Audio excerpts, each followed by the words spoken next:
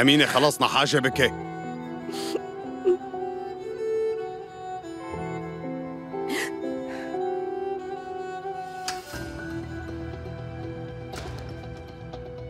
مساء الخير.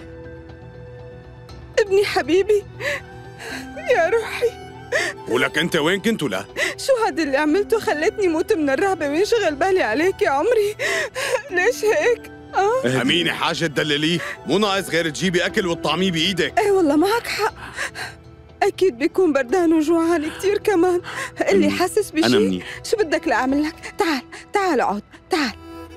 تعال يا روحي. أمينة والله أنت رح. تجننيني. نسياني إنه ابنك هرب من؟ عرسه وحطنا كلنا بموقف بشع روح هلا وحل. هذا الموضوع. بابا أنا أجيت لهون مشان هي القصة. أول شي بدي أعتذر منكم وتاني شي رح أعتذر من هاندي ومن أهلها ومن الكل. لنسكر القصة. ما قلت لك من قبل؟ ابني ما بيعملها ورح يلاقي حل لهي المشكلة. إجباري بده يعمل هيك. هلا بدك تروح لعندهم وتعتذر. قوم. بابا يعني ضروري اليوم؟ خلينا نستنى لبكرة بيكون أحسن. لا لأنه بكرة بدي حاكي الكاتب بالعدل. مم. وبدنا نظبط الوضع كله. كيف؟ شو ليش هيك استغربت؟ بتكتب كتابك على هاندي بكرة بس لحظة أنت فهمت حكي كله غلط أنا بدي روح بكرة بس لحتى أعتذر منهم على الشي اللي صار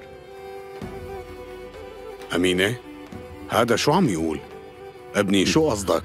فهمني شو قصدك بهالحكي هاد وقف وقف بلش حكيه بطريقة صح. بعدين ما بعرف شو صار له فجأة. ابني طلع. بس شوي. بدك تروح هلأ وتعتذر من هاندي. وبعدين رح تكمل أمور الزواج كلها. إيه؟ مو مشكلة. يمكن ما كان لازم أجي لهون. يلا تصبحوا على خير. محمد!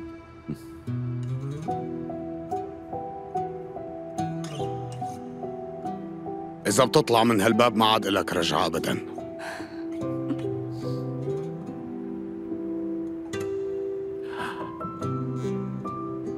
شكرا كتير بابا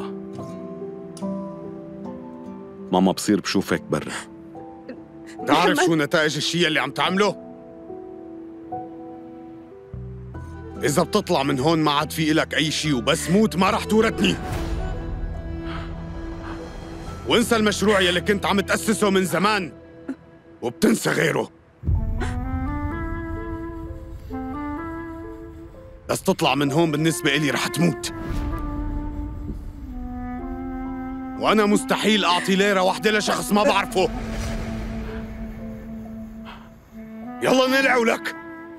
نلع.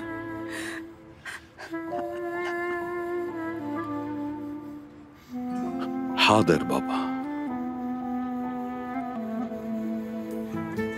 شكرا على كل شي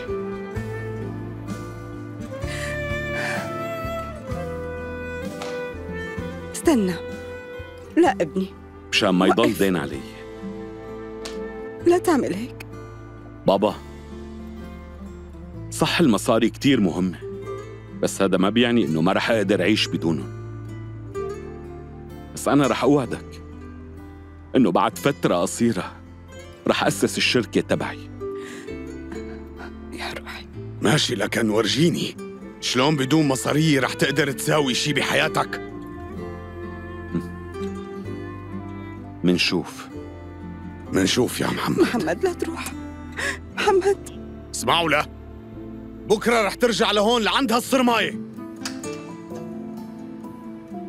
لوين رايح؟ بابا بخبرك جدي.